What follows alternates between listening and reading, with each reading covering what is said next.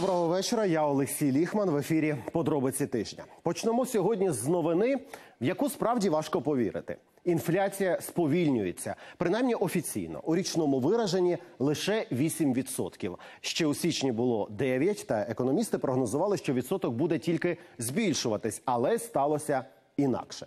Проте повсякденний досвід у магазинах та на ринках доводить протилежне. Ціни зростають буквально на все. Чому ж офіційні дані та реальна ситуація так різняться? Ринкову перевірку влаштувала Любов Кукла.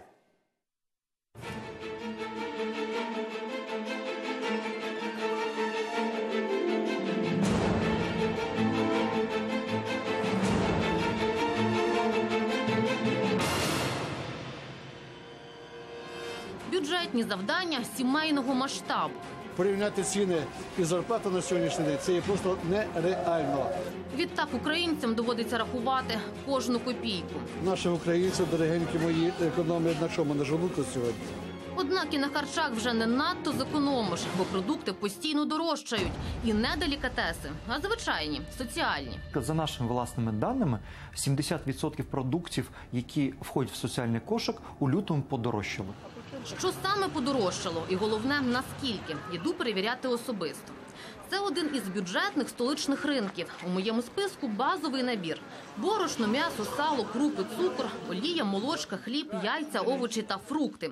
З них і починаю свою контрольну закупку. А яка от взагалі середня ціна на от яблука? Вони ж сезонні, зараз не сезон. 10 гривень, 10 гривень, 10, За кілограм, так?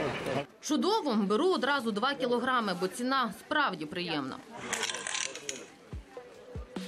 Далі яйця. Вони хоч і не золоті, але дорожчають постійно. Від молодої курочки за 17 гривень, грязне нестандартне 19. Перша категорія 21, подборочка 23, 24,5 і 26 великих. Отже, теж беру десяток. Далі овочі, і от якраз вони здорожчали суттєво. Картопля 10-12, буряк 20, морква 20, сельдерей 40. Що це ще цікаве? Чорна редька 15, біла 18. Цибуля. А, цибуля 22-23. На черзі м'ясний відділ найдорожчий.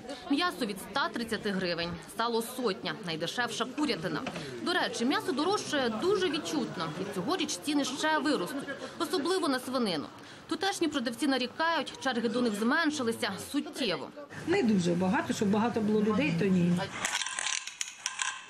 Далі за списком бакалія та молочка. Там ціни майже не змінилися. Хоча дещо подорожчали гречка, рис та пшоно. Така собі стабільність по-українськи.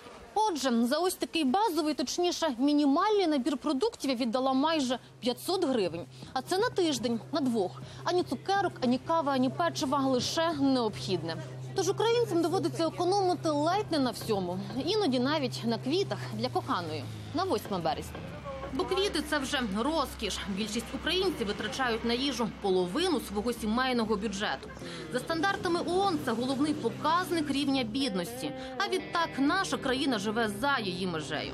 У Держстаті порахували, що українці в середньому витрачають на харчі понад 3 тисячі гривень щомісяця. При тому, що середня зарплата зараз 10 тисяч. От тільки отримують таку далеко не всі. А якщо пенсія 1500 або мінімальна зарплата трохи більше чотирьох, Я живу в семье. Четыре человека. Дочка работает, внуки не работают. Ну сколько? По 50 гривен с человека в день. 150, э, сколько? 200 гривен в день. Якщо перевести у валюту, це 2 долари або півтора євро на людину. Геть не густо. Що ж можна купити за ці гроші? А що там? Сметана, сливочное масло. Вот, сейчас пойду творог куплю. Творог пойду куплю подешевле, чтобы сделать э, запеканку какую-то. Вот так вот. Э, Дети, внуки не хотят борщи кушать. Вчера сделала салат. Вот такой, знаете, намешала, намешала. Ну, что, ку- 50 гривен в день на человека это, это мизер, это мизер. Вот поэтому тяжело очень живется. Важко, бо ціни на продукти в Україні подекуди навіть вищі за європейські. У нас мало які ціни нижчі за європейські. Ну, наприклад, молоко в нас а, в два рази, ні, навіть більше. Молоко в Україні коштує на 120% дорожче, ніж у Литві. на е, 100% дорожче, ніж у Польщі. Бельгія. Тут ситуація відрізняється, м'яко кажучи, парадоксально. Економлять на харчах не пенсіонери, а молодь. Бо у літніх європейців на першому місці здоров'я. А в молоді, звісно ж, власне житло та розваги. Тож їм доводиться рахувати бюджет дуже уважно. У мене мінімум 500 євро на місяць йде. Це невеличкий брюссельський ринок. Сюди фермери привозять на продаж свою продукцію. Екологічно, тому ціни вищі ніж у супермаркетах. На цей базарчик постійно ходить і пенсіонерка Жанні. Думаю, є багато сімей, яким складно прогодувати себе належним чином. А для вас ні, мені вистачає, але я не купую продуктів класу люкс. Фрукти, овочі, м'яса небагато. Я його майже не їм. Яблука, ківі, апельсини, з овочів салат, помідори, ну і на суп. Розповідає, в Бельгії пенсіонери здебільшого витрачають на їжу не більше 30% місячного доходу. При тому, що мінімальна пенсія в Бельгії 1200 євро, середня півтори, тобто майже 45 тисяч гривень. Думаю, за останні років 5-10 ціни дещо зросли. Залежить від ваших пріоритетів. Для мене вживати хорошу їжу дуже важливо. Тому я можу, наприклад, дещо збільшити бюджет на продукти, а не на авто чи щось того роду. Загалом у Бельгії люди витрачають на харчі в середньому 150-200 євро на тиждень. На наші гроші це майже 6 тисяч гривень. Але це при тому, що середня заробітна плата в цій країні 2,5 тисячі євро. Мабуть, відсотків 30. Дуже люблю їжу, багато готую, купую якісні продукти, тому витрачаю, мабуть, 25-35 е, відсотків свого бюджету. Я купую чимало свіжих овочів, намагаюся обирати органічні та місцеві продукти, а ще багато риби та сиру. Тут вони дуже смачні. Отже, які прибутки, такі й витрати, а відтак і апетити.